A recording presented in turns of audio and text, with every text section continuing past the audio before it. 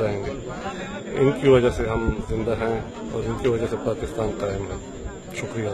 شہادت کے لیے تیار رہتے ہیں۔ ہمارا تو یہ اس میں اولین فریضہ یہ ہے کہ آپ نے شہید ہونا ہے۔ اگر کوئی ایسا موقع آ گیا تو ہم تو بالکل تیار ہوتے ہیں اور ہر وقت ہر گھڑی تیار رہتے ہیں۔ اللہ تعالیٰ رحم کرے اس ملک پر۔ کوئی ایسی ناگہانی آفت یا کوئی ایسا آئے گا ہم فوج والے تو بالکل ریڈی ہیں۔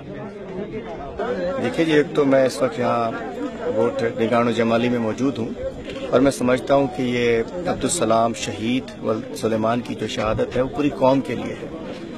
اور یہ شہید صرف فوج کے نہیں ہیں، صرف اس برادری کے نہیں ہیں پورے پاکستان کی شہدا ہیں اور آج پاکستان اگر مستحکم ہے، مضبوط ہے تو ان شہیدوں کی قربانیوں سے، ان کے لہو سے ہے۔ اور آج دیکھیے رات کے آدھے پہر میں، جس انداز میں ایک بڑی تعداد میں لوگ اس جنازے میں شریک ہوئے ہیں اور خراج تحسین پیش کر رہے ہیں اپنے شہید کو اور آرمی کے آفیسرز بھی یہاں موجود ہیں۔ الحمدللہ، میں سمجھتا ہوں کہ اس وقت فوج اور قوم ایک ہے اور انشاءاللہ ان کی قربانیاں رنگ لائیں گی اور پاکستان ایک مضبوط اور مستحکم قوم بننے جا رہا ہے۔ اور ہماری جو کیمپین ہے، سلام شہدا کیمپین، اس میں ہم چل رہے ہیں اور جو ہم دیکھتے ہیں کہ پورا سندھ جو ہے، اپنے شہیدوں کو سلام پیش کر رہے ہیں